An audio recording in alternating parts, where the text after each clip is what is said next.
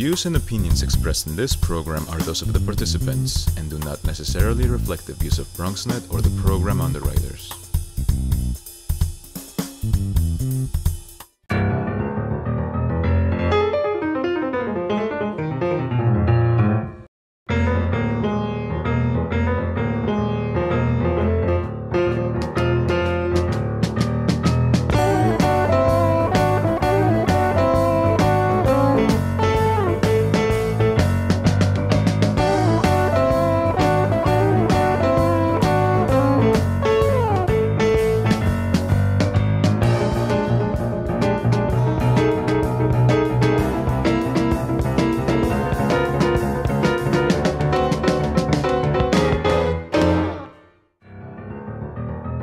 Good evening and welcome to Bronx Talk.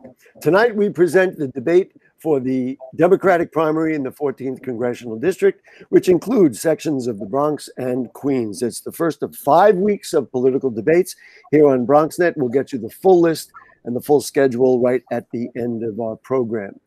In our 25 plus years of political debates on this program, this is the first time we're conducting one virtually for obvious reasons.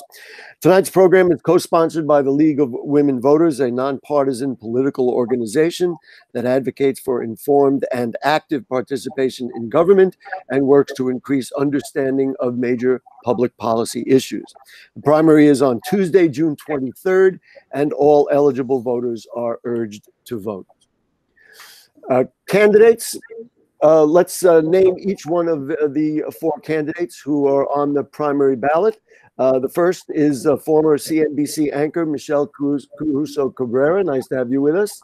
Thanks for having me. And uh, the incumbent is Alexandria Ocasio Cortez. Thank you, Ms. Ocasio Cortez, for joining us.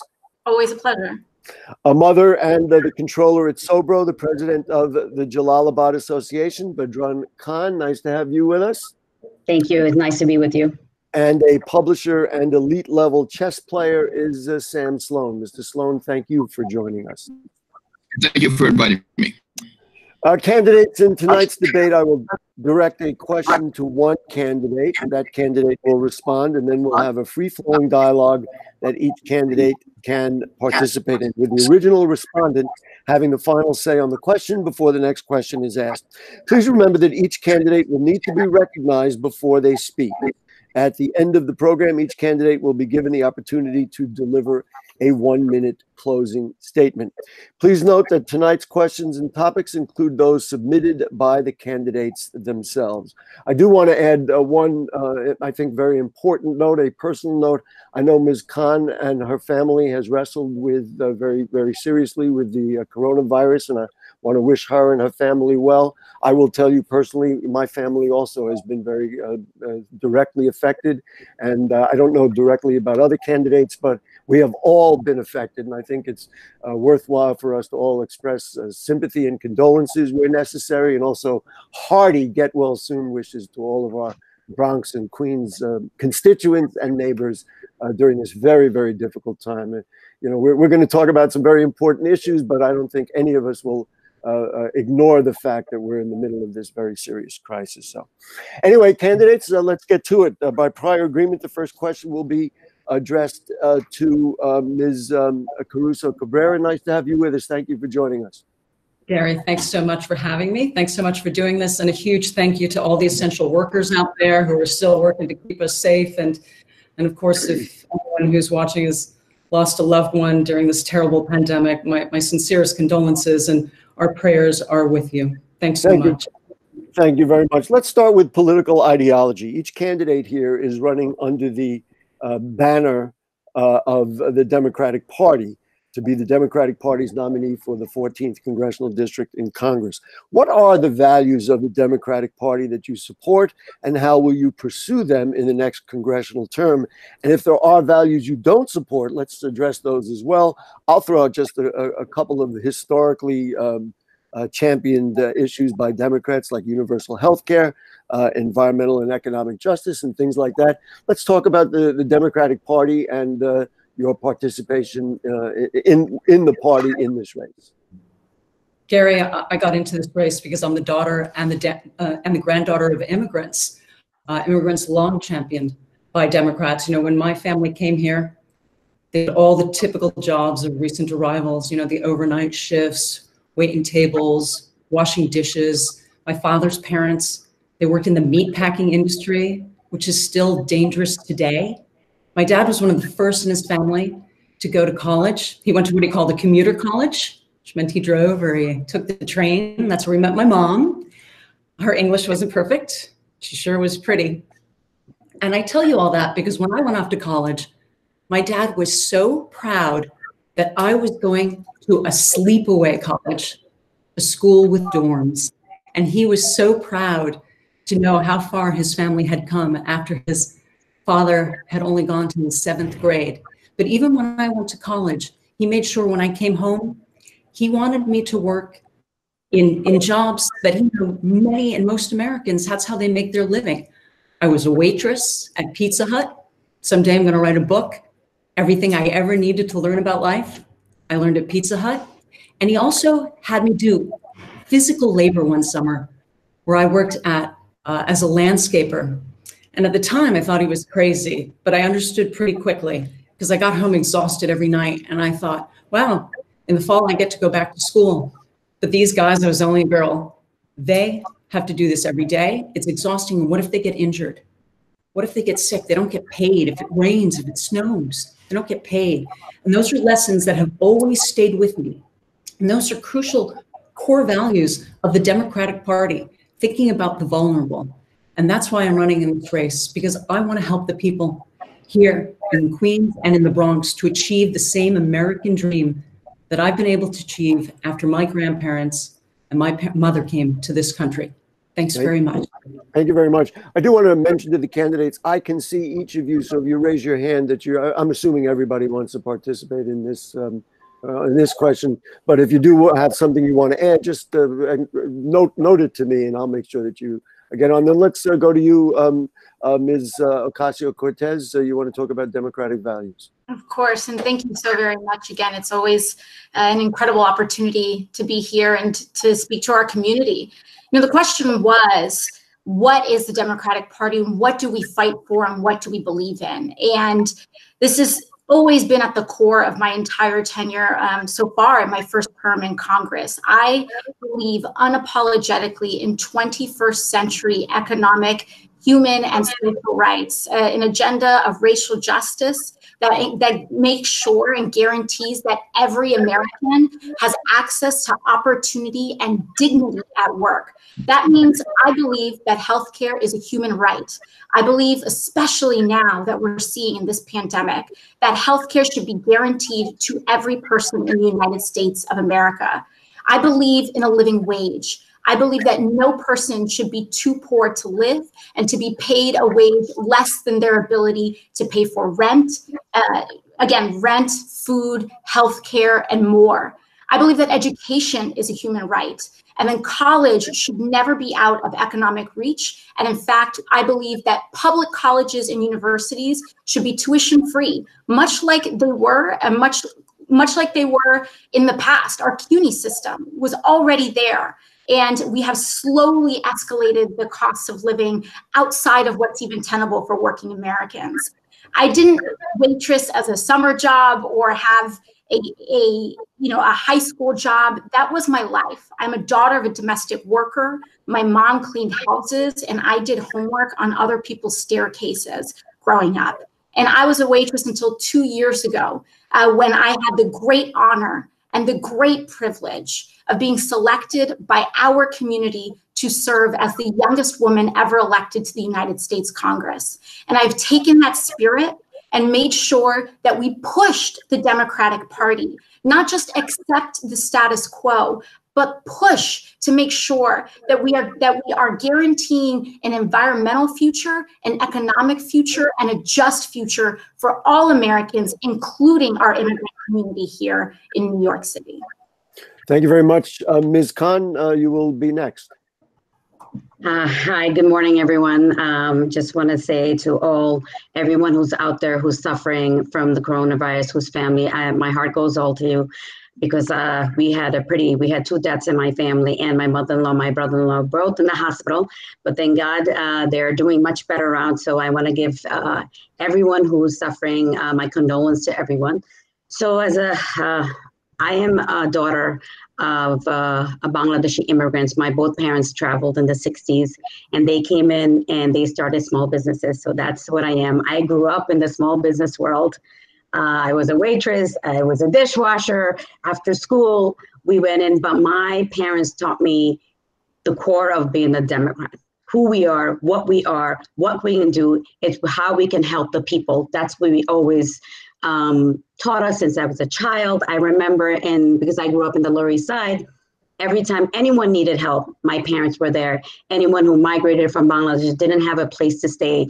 We had a two bedroom apartment. I think it, actually it was 1.5. And if people would travel, they would like, you know what, if they don't have a space to stay, they would come into our house. So we would give them like the living room and we would share because they didn't have a place to to put their head or somewhere to sleep in. So we would actually help them to get on their feet. So I would ask them when I was a child, uh, Mom, uh, what is the help between that? It's like, because, you know, when people migrate, we need to push them to see where they can go, give them a job, very small jobs in the space because my parents had small restaurants and my both family, everyone worked together. But they made sure I had an education. They made sure my, my family went to school. And that's where a value happened. Everyone needs to help everyone. Nobody should be left behind. And that's why I really believe in the universal basic income that we need people to get out of poverty. Last weekend, I went Sunday, yesterday, and it was so sad in the Bronx in uh, 211 Holland Avenue. There was almost 600 people online for food. And that is so sad. I mean, thank you for ICNA and thank you for Open House Association for helping giving the food out but it's increasing. I started about four months ago with them, and every day that's increasing. And we need to get these people out of poverty.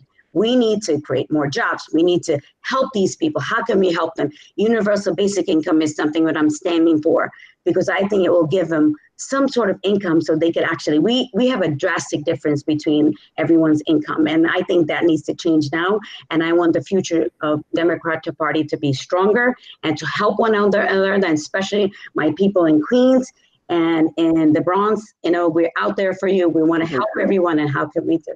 Thank you. Thank you very much. Mr. Sloan, same question for you. Mr. Sloan, are you with us? Yeah, my name is Sam Sloan. I was born with a silver spoon in my mouth. I'm absolutely the opposite of these other people.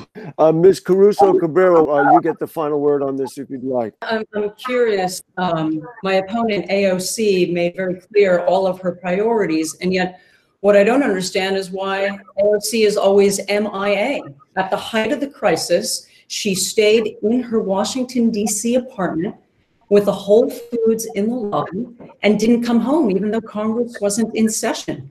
She did that for a whole week why on earth would you do that when there's a crisis going on here?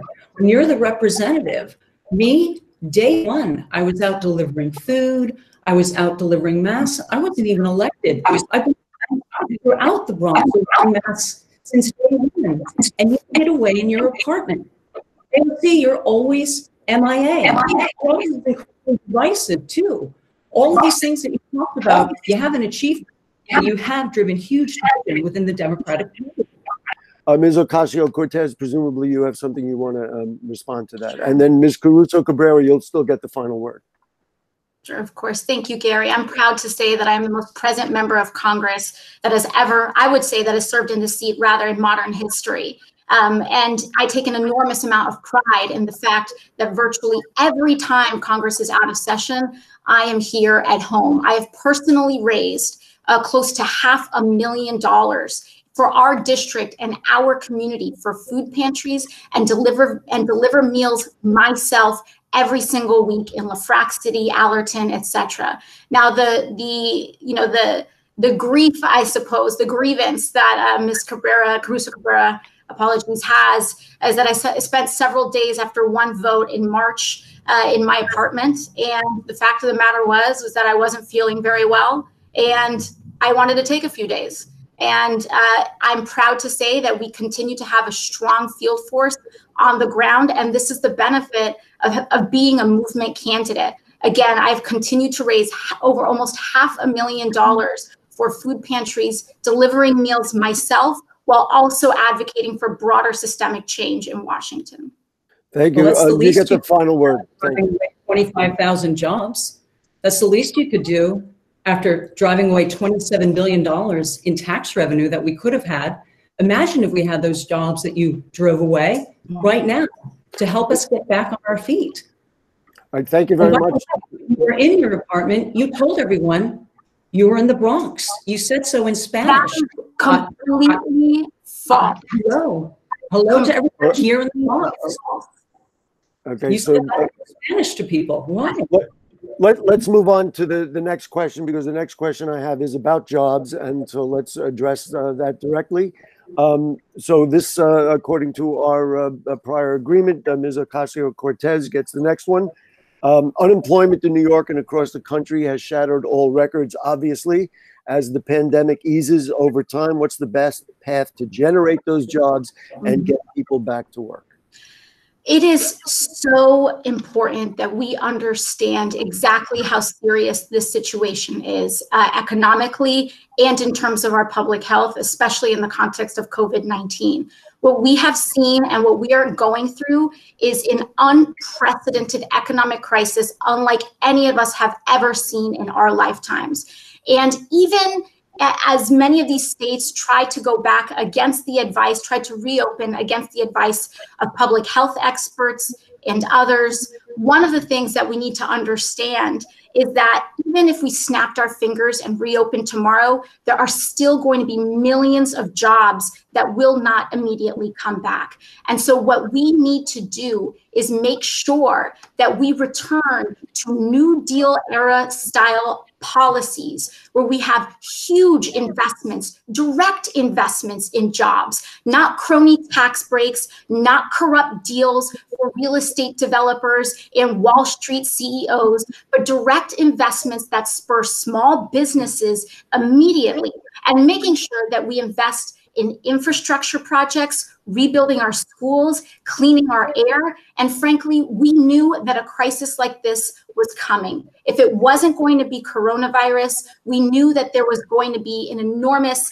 uh, you know, that climate change in and of itself, whether it's Hurricane Sandy or others, present enormous economic crises. And it was with that foresight that I had the privilege and the honor of working with Senator Ed Markey in making sure that we co authored one of the most progressive and wide ranging. Uh, wide ranging infrastructure and jobs projects, the Green New Deal, that was endorsed by virtually every presidential candidate this cycle. We need to make sure that we have direct investments and that demand can, must be spurred uh, in order to kickstart our economy and create millions of jobs.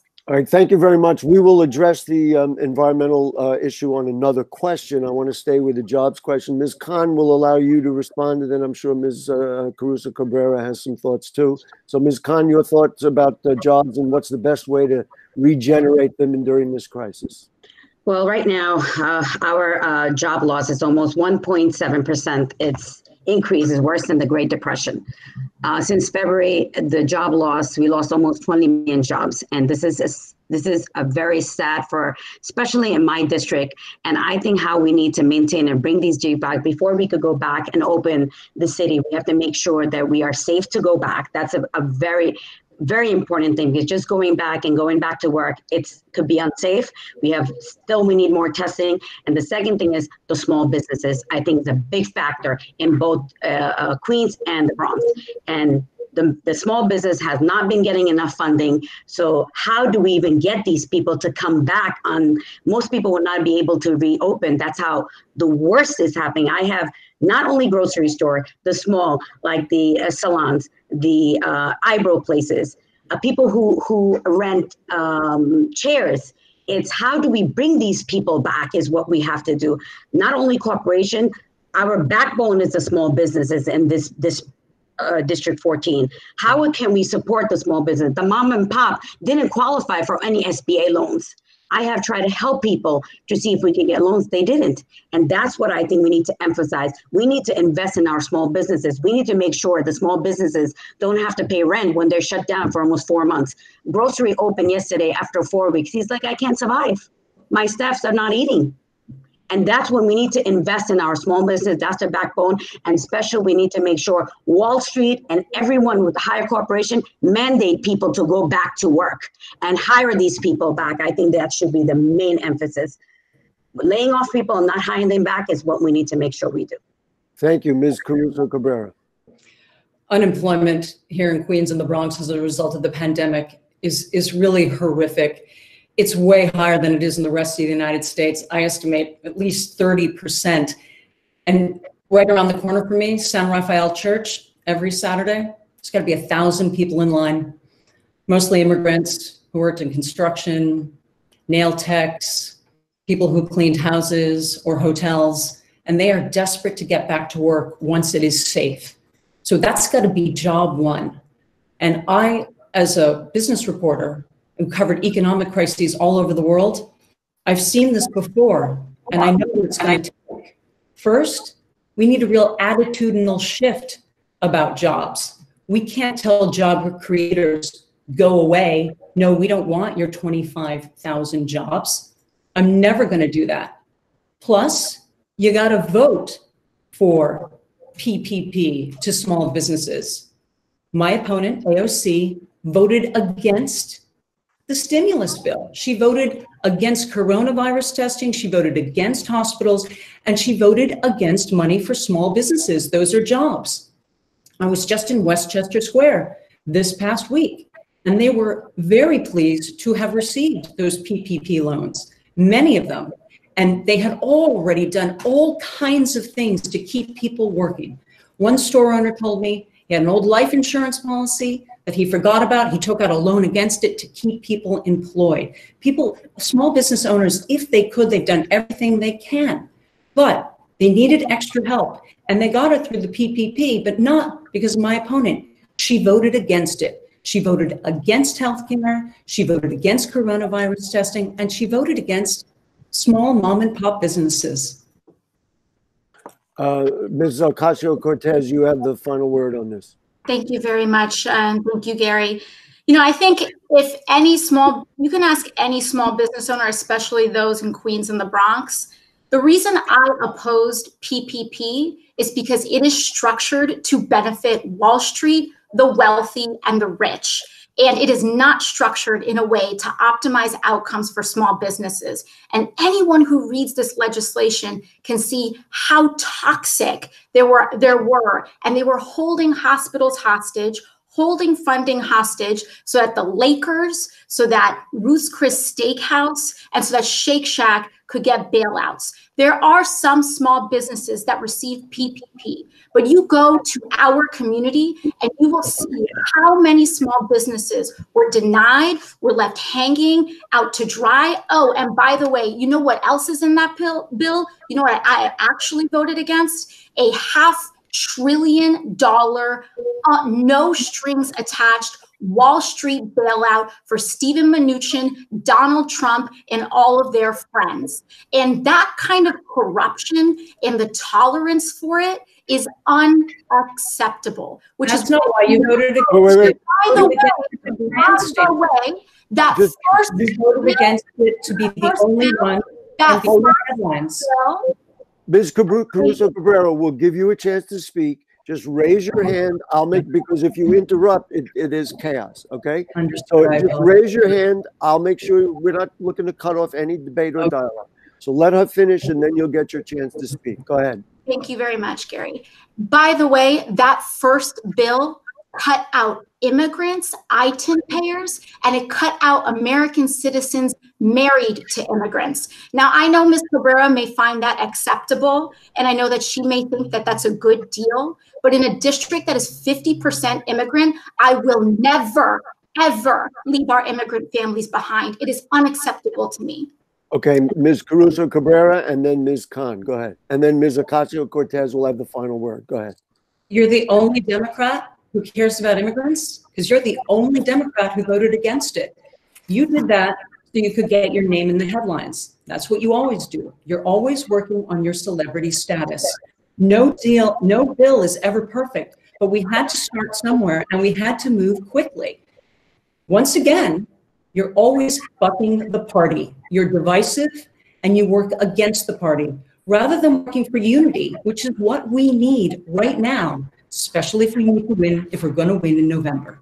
Uh, Ms. Khan, you wanted to say something, and then you will get the final word, Ms. Ocasio-Cortez. Presumably, you want to respond to that. Go ahead. So I, have a question: Is the the small business is what we are trying to see? The people who have like a like I said before, the mom and pop who don't have a 941, who don't have, they're just a family working through it. Those are the people who are who are really hurting the most because they can't prove all these paperworks. And that's what we are trying to help these people. So why in the bill we didn't have something or a section of it saying you know what? We need to have these people help them because you know what? Not every corner store has all these paperwork. And they it killed these people. I have people like badrun. So i i tried all these other grants. Facebook gave a grant uh, these all these small grants. So i try to help them to see what can we get if they don't qualify for the PPE. They didn't qualify because they couldn't manage all these paperwork. So we need to make sure a bill comes out in that sense to help these mom and pop businesses because it didn't work. And I can name at least 100 businesses in both of our district, Queens and Bronx, that did not get any funding. And they, yeah. Uh, Ms. Ocasio Cortez, you get the final word on this. Thank you so much. And, you know, honestly, I know she may be my opponent in this race, but Ms. Khan really said it. We know that this legislation was not set up for us to win. And that's why, you know, our district is one of the most progressive districts in America. And we know that power in Washington and established power is not just about left and right, it's about up and down. And there is an enormous amount of pressure it, to, to conform in Washington. And yes, a lot of times I will stand up and say, we can do better. And sometimes that means being a lonely voice. But our constituents called me and I listen to our office because I don't take and I listen to our community. I don't, I'm not financed by multimillionaires and bank CEOs. I'm financed by small dollar everyday people. And so do you want to know something, Gary? On the eve of that of that stimulus vote, I had more calls coming into my office saying to not support the bill rather than to support it. Our community knew we were getting a raw deal. That's what they told me. And because I am, am a loyal to our community, I took that input and did my job and represented them, represented their view on the floor of the House even though even though it sometimes means standing up to the most powerful people in the country. What we'll do, we'll take a break. We can, I know Ms. Caruso Cabrera wants to continue it. I would like to move on to a different subject, but we'll take a break. We'll reconvene and then we'll uh, uh start right after uh, we come back. Uh, you're watching the uh, Democratic primary in the 14th Congressional District debate, and uh, we'll be right back.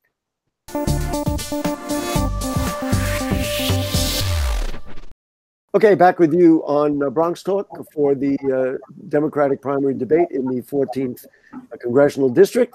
And uh, just continuing the dialogue, uh, Ms. Caruso Cabrera had something to say. Let's do that quickly. We'll get a response and then we'll move on. Uh, my opponent, AOC, said she had received many, many calls before that stimulus vote. I don't know how that's possible because her office is never open. Office, she never opened an office actually in her district in the Bronx. And the one that she did open, I drove past last week and it was closed in the middle of the week. How are you getting calls? AOC, uh, you're always my Let's let her respond to that and then let's move on. Thank you. Sure. Um, I know Ms. Uh, uh, Caruso Cabrera isn't from the district, so she may have some trouble finding her way around. But um, I believe she visited my campaign office, which is not my congressional office. And then, secondly, um, and then secondly, I have had two operating offices. My Bronx office is co-located with Assemblywoman Karines Reyes due to the extraordinarily high cost of rent. But I am happy to, to say that our office has set a record in that we have received two congressional uh, awards. The first, uh, the first in history where a freshman office, um, and we share that honor with Congresswoman Donna Shalala, uh, the first in history where we have received two of these congressional uh, awards for congressional operations in innovation and, and culture. Uh, I'm happy to say that we have successfully resolved, we reunited families, we have uh, answered thousands of calls as a as a strong voice in congress i receive up to 3,000 calls per day. And every day we screen every single one of them to prioritize and answer our constituents first. Thank you very much. Thank, thank you very much. Ms. Khan, uh, obviously healthcare has always been a priority, but in the middle of this pandemic, it's been raised considerably on yes. the priority scale. There are a range of proposals and possibilities. I will list just some of them Obamacare, single payer, universal, private based, public option, Medicare for all. What plan can be realistically achieved in the next session? And what plan would you advocate for in the House of Representatives? I want universal health care and but I also do want to keep the private uh, the private insurance on the side, and that's what I'm trying to do.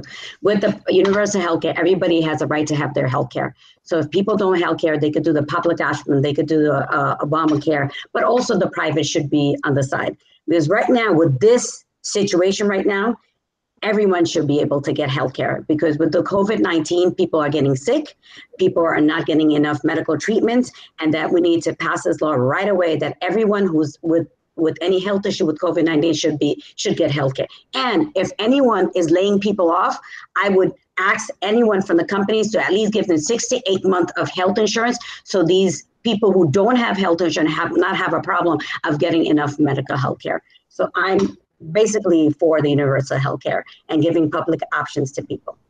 Thank you very much, Ms. Caruso Cabrera. Your thoughts? It, it's very clear during this pandemic that we have not spent enough on our public health system. It was incredibly stressed and is still very stressed. Uh, in the early days of the crisis, going by Elmhurst Hospital and seeing the lines out the door of people waiting to be tested, um, potentially getting sick from just being in the lines, it was horrible horrible to see. So we need to spend more on public health. Uh, we need, my principles are always accessibility and affordability, and we do that through choice. Medicare for all is not the answer.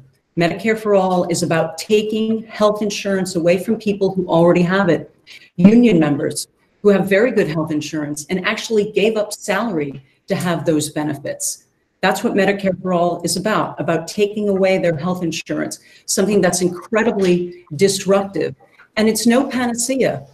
Italy, Spain, they have pretty much Medicare for All, and thousands and thousands of people died. There wasn't enough spending on health care. That's what we need to focus on improving our public health system so people have accessibility and affordability. And the other thing I would never do I would never vote against 75 billion for hospitals, 25 billion for coronavirus testing, like AOC did when she voted against that bill. She claims it's because she cares so much, but she was the only Democrat to do so. She did it because she's always trying to get her name in the headlines. She wants to be a celebrity, not a representative to the people here in Queens and in the Bronx. I just want to be your humble representative and work every day for you. Thank you very much, Ms. Ocasio Cortez. I believe that healthcare should be guaranteed in the United States of America, and that is why I support single payer Medicare for all in the United States. It is the one system and it is the one policy that we know can actually guarantee health care and the reason that that is so important, health care is so important, is because words like accessibility and words like access to and words like choice are, are big pharma lobbyist code words. Because the reason we talk about, they say access and choice, is because everyone has access to buy a thousand dollar a month healthcare plan. Everyone has access. Even when I was a waitress two years ago, I had to use the Obamacare exchange. Obamacare is an enormous improvement on what there was before, which was nothing. But at the end of the day, I had to pay almost $200 a month for an $8,000 deductible on a waitress's salary. And do you know what that means? It means you don't go to the doctor. So what we really need to do is, is really try to move towards systems like also Canada, South Korea, the UK. And I believe that in terms of our possibilities for the next term, which was also the question that you asked, Gary, what is possible for next term? That is one of the reasons why we are working together. And when people say divisiveness and all of this stuff, listen, not all Democrats are the same. Some Democrats believe in not protecting immigrant rights. Other Democrats believe that we should subsidize big pharma and healthcare corporations. I'll be very honest about that. But we can come together too. We will have our differences. But that's also, you know, that's also the reason why I speak with Vice President Biden and try to push and try to see what our possibilities for our next term are. And in that, I believe that we can continue our fight and try to make sure that we mobilize everyday people to guarantee health care in the United States of America. Because the folks that are left behind in the cracks are the same essential workers Uber drivers, domestic workers, home health care aides. And by the way, yes, unions support Medicare for all because it is wrong. It is wrong to give up your wages because there's we only have employer spot our primary system is employer sponsored health insurance in the United States. And in a time of 30 million people suddenly unemployed, I think we all realize how broken our current system is and the fact that employer dependent healthcare and health insurance, rather, is one of the least stable. Uh, one of the least stable systems that we could have. I do not believe in expanding that system.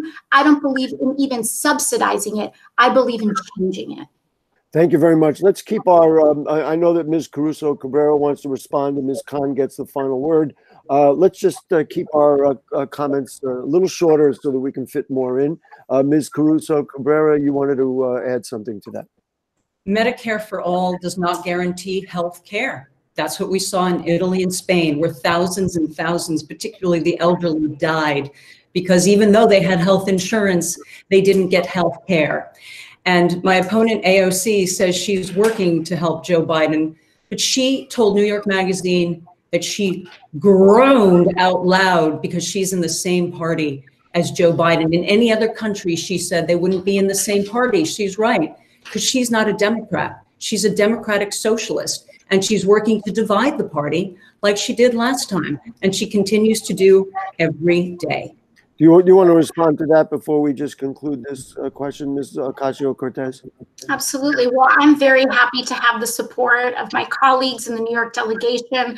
I'm very happy to work very, uh, very well and collaborate a lot with our fellow members. In fact, I have co sponsored hundreds of bills, many of which have become law, with both Democratic and, believe it or not, Republican colleagues. I make my views known and I'm not afraid to fight for what I believe is the right thing for our constituents. And while some people may call that divisive, I believe that I work very closely with our colleagues. And by the way, I think that it's just called clarity. I don't I don't poll test what I believe. I don't change my beliefs. And by the way, I I may be, aside from Ms. Khan, the only person in this race that actually has policy positions on their website. I commit to stances. I commit to our district. And I don't go around and run based on how awful Miss Khan may be or how awful Miss Caruso Cabrera may be. I'm not running based on how negative on negative, you know, stances on them or tearing them down. I'm running based on building our community up. Thank you very much. Ms. Khan, you get the final word on all of this. Yes. Uh, so, as I said, I believe in the universal health plan and I believe in not eliminating private insurance, but also we need to negotiate. The most worst thing is prescription prices. That is insane right now.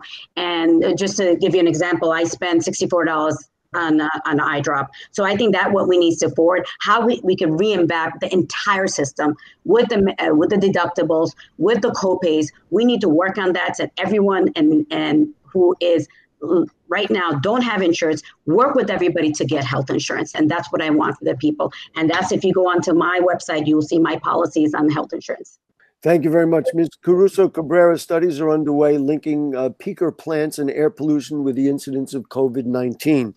Let's talk about the proposed Green New Deal. I suppose on the environmental protection scale, the Green New Deal is on one end and the Trump administration's elimination of uh, dozens of EPA regulations are on the other end. Is a massive policy package that would remake the US economy and eliminate all US carbon emissions realistic, doable, and ultimately the right way to go at this time? Uh, no, the Green New Deal is another example of divisive policy that actually doesn't achieve anything because you can't enact it actually. If I were in Congress, what I would be working on are very specific things to help the district. Seawalls to protect the waterfront, where we have so many communities that are dealing with flooding, like Edgewater Park, for example, could use help. Specific things that will make a difference with climate change and not these kind of policies, which are once again about trying to divide the Democratic Party. You know, she's always proposing things that drive the party apart. Don't pay your rent. Don't go back to work. All of this while she's MIA. All of these things while at the height of the crisis, she stayed in her luxury apartment in DC with the Whole Foods in the lobby. So she didn't have to worry about where she was going to get her food like the rest of us. Okay, uh, Ms. Ocasio Cortez is next, and Ms. Khan, and then uh, Ms. Um, uh, let's see, uh, Ms. Cabrera gets the first, the final word on this. Let's try to uh, tighten it up here so we can uh, move forward. I'm proud to be a co-sponsor, and in fact, I'm proud to be an original author of the Green New Deal. And by the way, didn't do that alone. I did it with the mentorship of the, one of the greatest uh, climate leaders in Congress, Senator Ed Markey.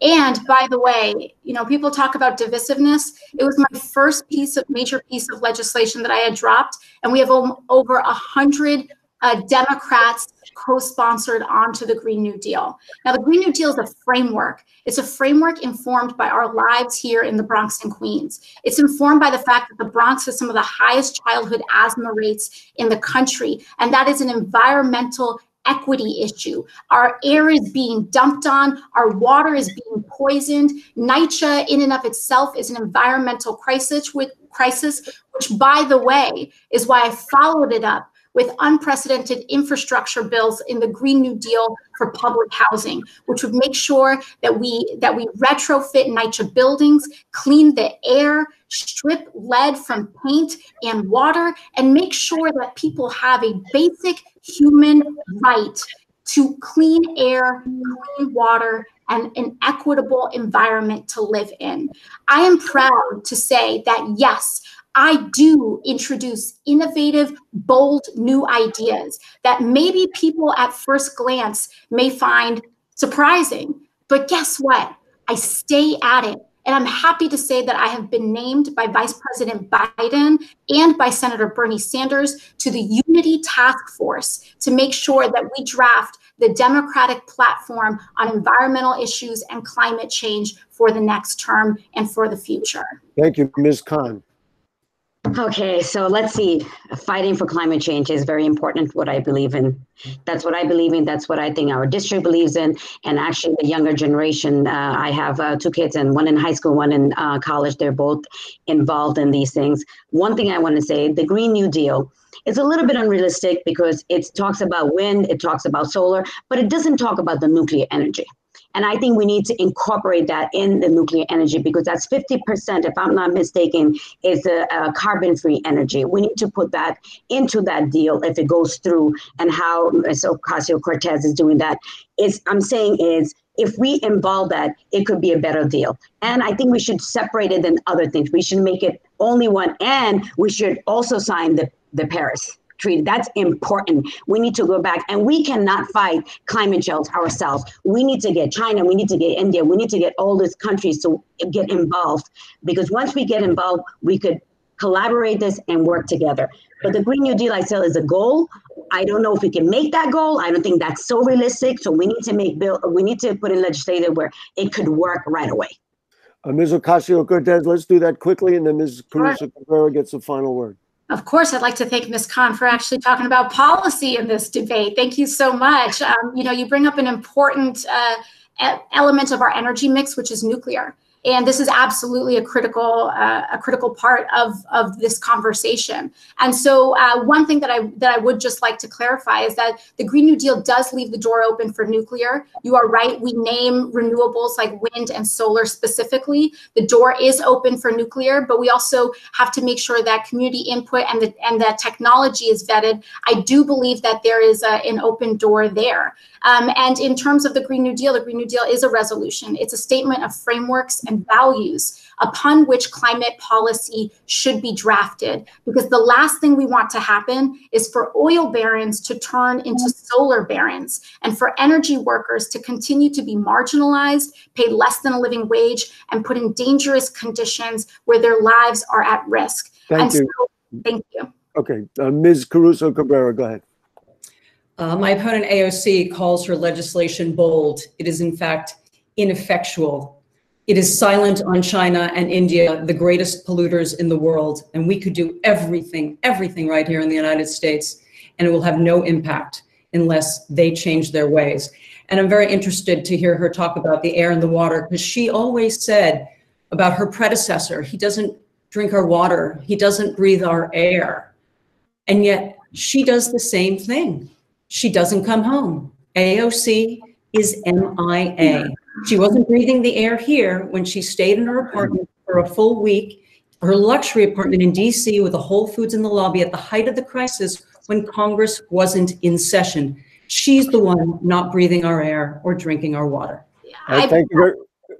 Let, us take a, well, let's we'll take a short break. You'll get a response, and we'll move on, folks. We're uh, uh, going to take a short break. This is the Democratic primary debate in the 14th congressional district. We'll uh, take a break on uh, BronxNet television. We'll be right back.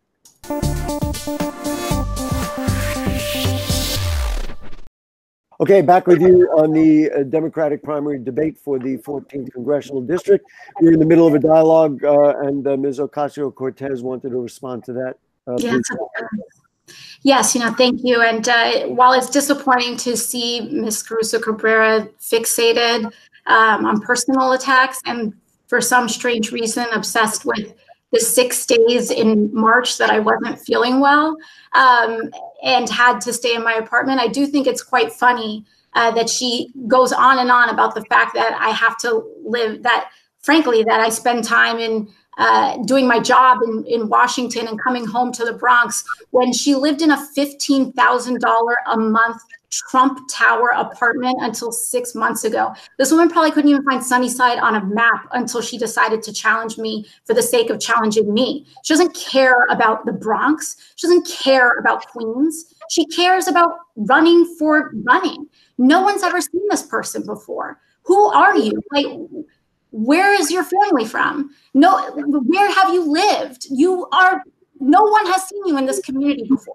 And while I know you have multi-millionaires that finance your campaign and you're financed by the same real estate developers and big banks that would profit from the corruption in Washington and adding one more notch to their belt, I don't think it's important for us to, to do that. I don't think it's okay for us to do that. Uh, Ms. Caruso Cabrera, presumably you want to respond to that. And then I do want to get the final question in. Go ahead. Sure.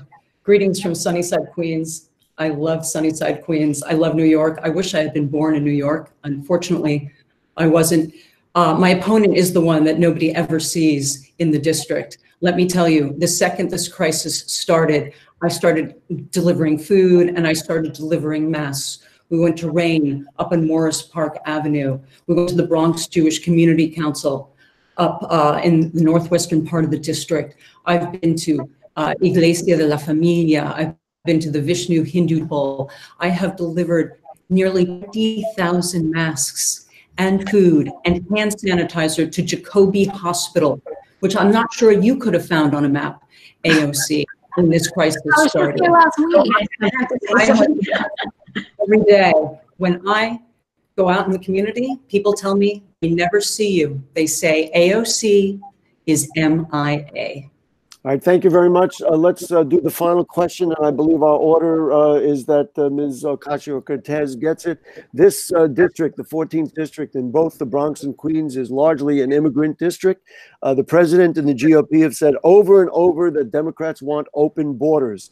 There are four Democrats here do any of you support open borders? If not, how would you like to see the nation's immigration policies uh, renewed, revised, and amended? Uh, Ms. Ocasio Cortez, that's for you.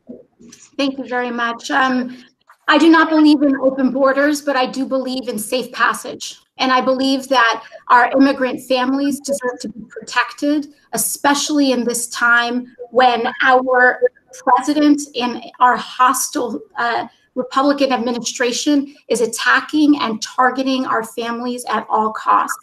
I do believe that ICE has committed human rights abuses and has a structure that is inherently corrupted. We have to make sure that we take a new approach to immigration, one that is not centered on the marginalization and attacking of our families, but one that is centered in American values of ensuring that families can be reunited. I'm proud, proud to have reunited families that were separated and to take fathers and mothers out of ICE detention to fight for children just just a few weeks ago. Um, well, just, excuse me, I, I, just want to interject that uh, we are running out of time, so let's keep uh, things as sure. short as I'll end on this. each candidate. I'll end on this. Just a few weeks ago, I was called last minute by a community group that five or five or six children were being transported into LaGuardia Airport into a pandemic zone. And within the drop of a hat, because I am here all the time, because it's not just a campaign line, because this is where my family is. This is where my uncle is. This is where my brother is. This is where my family is. I dropped everything and headed to LaGuardia Airport to get those six kids and follow up and make sure that they were safe. Thank you very much, Ms. Khan. Okay, so I don't believe in open borders. I think borders should be protected. But I also believe right now the DACA recipients are not getting anything. It's been years and we need to protect these these children these people who are under daca. Nothing has been done in congress and that's something we need to um, do quickly ice needs to be revamped. There has to be reforms for the ice because ice is not doing that is something correctly to the family. And i also want to say that i'm here 22 years in this district. I grew i, I was I got married in, in Sunnyside, so I love this district. I know the district very well uh, with the back of my hand, both Bronx in Queens, because I ran an organization, and that organization is with immigrant families. So we know how hard it is, how immigration needs to be stronger to protect my family who are migrating from this country. So I believe in that safe. Thank you very much, Ms. Caruso Cabrera. We need to have secure borders, but we also need a path to citizenship I got into this race because I am the daughter and the granddaughter of immigrants. And because of them, I've lived an American dream. And I want people here in Queens and the Bronx to have the same opportunities for that American dream. We've always been a welcoming place for immigrants. Um, AOC says her family lives here. Her mother moved to Florida because the taxes are too high in New York. And AOC, my opponent, voted to raise taxes on New Yorkers. She voted with the Trump administration. Governor Cuomo begged the New York delegation to vote against it, and she voted with the Trump administration, the only one, because once again, she's always divisive and she's always working against the party and against the people she represents. I will okay. never do that. I will always work for them. Thank you very much. Uh, you get the final word on this question, and then we'll do closing comments. Ms. Ocasio Cortez.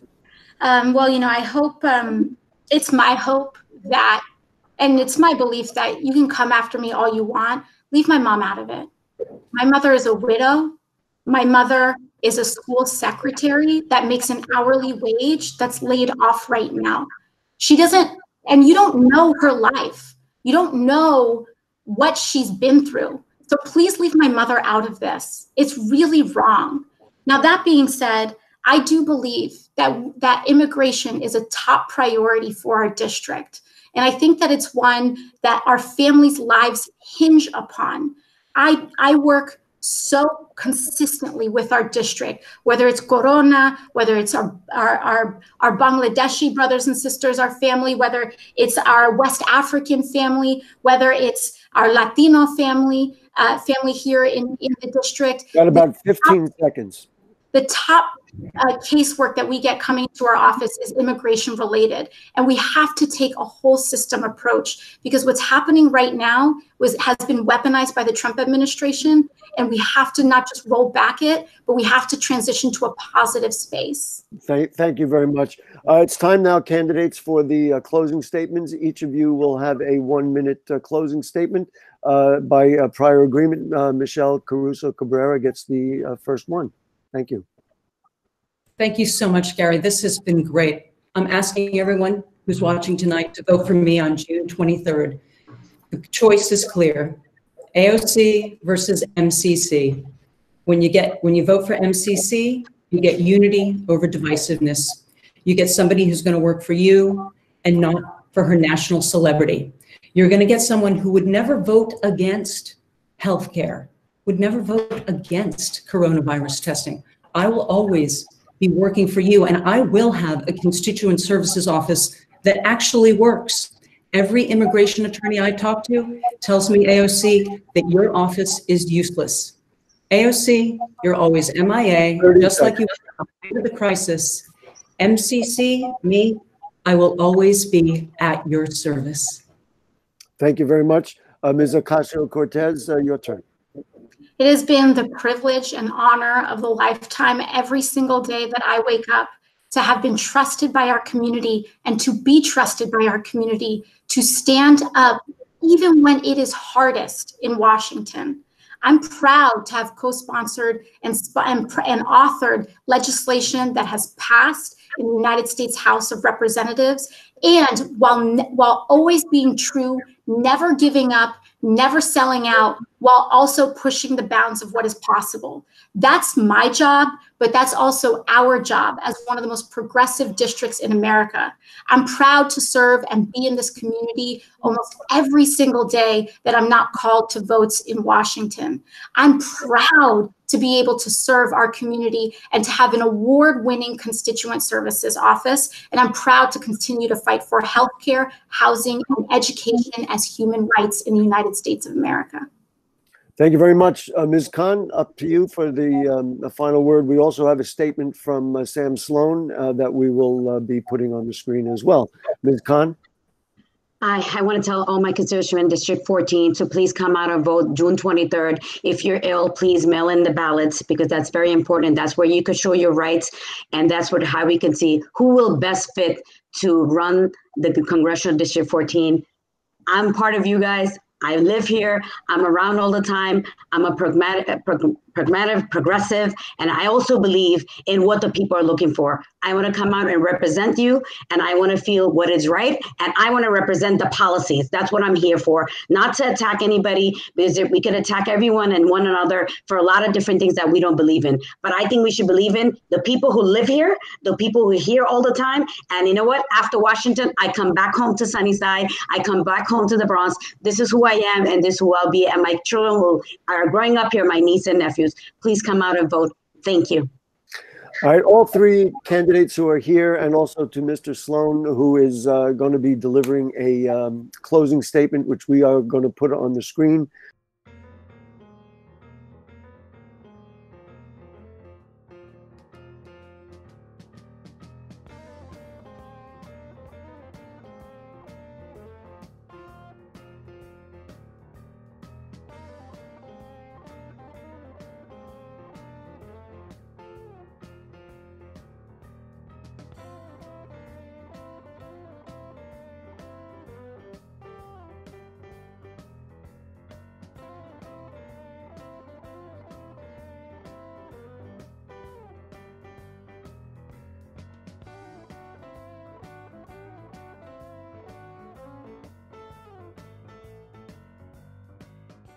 Uh, we want to thank all of you for participating.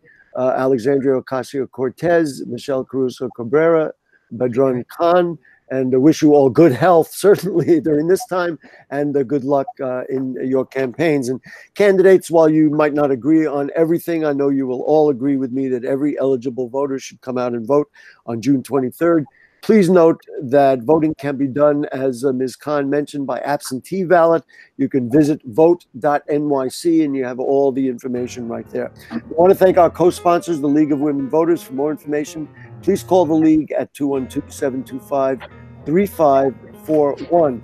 Our upcoming debates next week, May 25th, it's the 16th Congressional District. On June 1st, it's the 15th Congressional District. On June 8th, it will be the open seat in the 79th Assembly District in the Bronx. And then on June 15th, we'll hold a debate for the open seat in the 85th Assembly District. So, uh, to our viewers, to their constituents, thank you all for watching. And uh, thanks to our great producer, Helen Greenberg. And uh, we'll see you all uh, next week on uh, Bronx Talk. Good night, everybody.